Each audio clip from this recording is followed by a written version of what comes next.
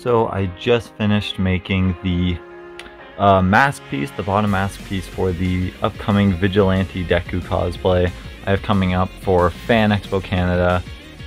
Kind of give you a good look at that. Get a look at that. I used uh, foil tape for kind of this like metal effect. Uh, this is all made of cardboard, believe it or not. Have some just kind of black duct tape here for these pieces crazy glued on. Same thing here on this side as well. And then for fun, why not? Here's like the inside of the mask here.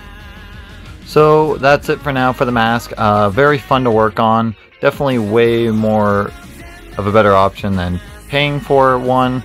I saw Amazon had one for like 60, so it was kind of a cool project to make this cool little mask. I've already got the uh, bag coming in and some gloves. And yeah, I already have the cape piece too that I will be wearing with the costume. So that's all I have for you now.